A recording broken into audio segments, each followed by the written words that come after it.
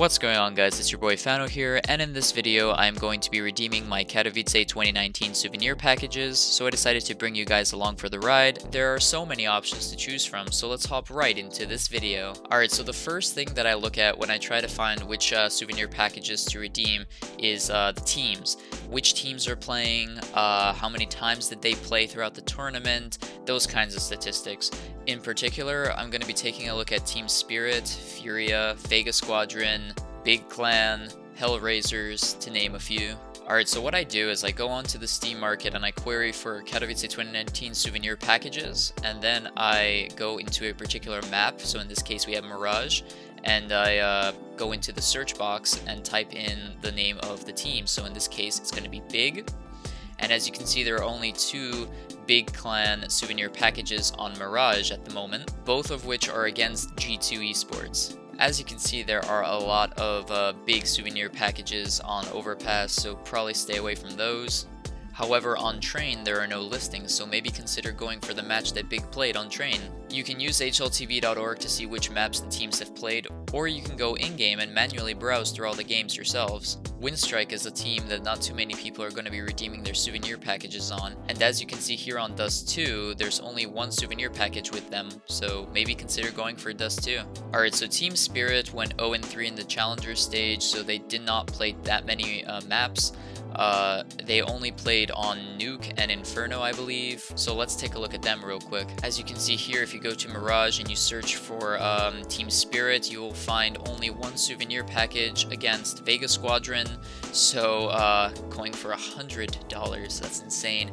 So maybe consider going for that game. That's actually a pretty decent game. Another popular strategy is to go after certain player autographs. So in particular, I would recommend going after Xantares or Woxic or even Jame from Avangar.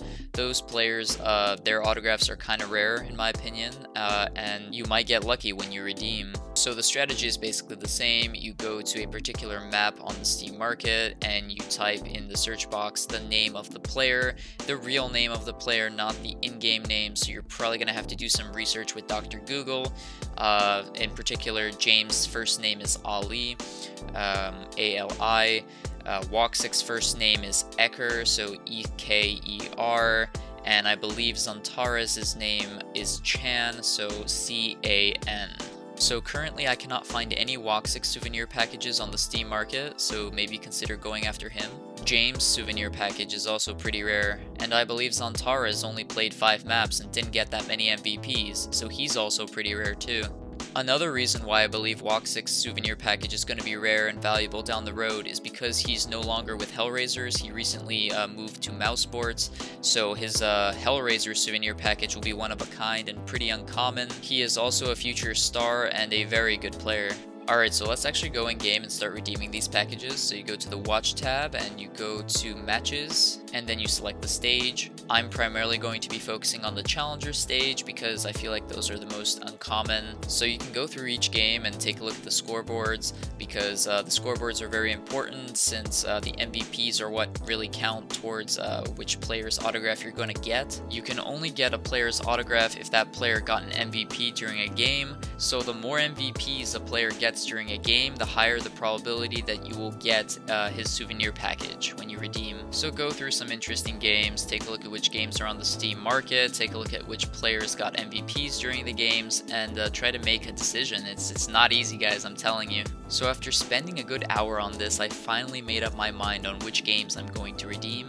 The Vega Squadron and Team Spirit game is very tempting, and I really, really would consider that game. But then you have the Team Spirit vs Furia game on Mirage that is also uncommon and not too many people are going to redeem. In the end, I decided to go with this game for my first choice. Alright, so here we go. And we get a VINI autograph, so the highest probability won, but I did not choose this game only for the players. I decided to choose this game based on the souvenir packages that I observed on the market and how rare and valuable I think this uh, package will be in the future. Alright, so for my second choice, I decided to go with NIP versus Vega Squadron on Train. Uh, there's a very high chance I'm gonna get a REZ sticker or a f0rest or even a Lekr0. If I get a Lekr0, man, I'm gonna be pretty upset. Um, But uh, but hey, if I get a Vega Squadron uh, player, that would be pretty nice. And uh, yeah, let's do this. And we got a Vega Squadron player, boys. Let me look it up real quick. So apparently I got Crush's autograph, so that was a 1 in uh, 22 chance of getting it, so that was pretty nuts. So there you have it folks, those were my final souvenir packages that I redeemed. There were many good choices to choose from, a lot of good games. I would have also considered the Furia versus Cloud9 16 in 1 game where Furia just absolutely destroyed Cloud9 on Mirage. Um, there were also some other interesting games with Avant versus uh, FaZe on, um, on Mirage. So the bottom line is there are many different games to choose from, many good games to choose from, and in my opinion, it really doesn't matter what game you choose. Either way, you're still going to be making some sort of profit in the end. Uh, the question is how much, and again, that all depends on finding the right buyer and uh, finding the right time to sell, which is also very important in this investment. So uh, again, guys, make sure you redeem your souvenir packages. Don't wait till the last minute. And uh, yeah, hope you guys uh, profit from these souvenir packages. Let me know in the comments section below which souvenir packages you guys are planning on redeeming. And as always guys, if you like this video, please give it a big thumbs up to show your support. Also, if you would like to be notified of future videos, giveaways, and more, hit the subscribe button below. So until next time, this is Fano, signing out.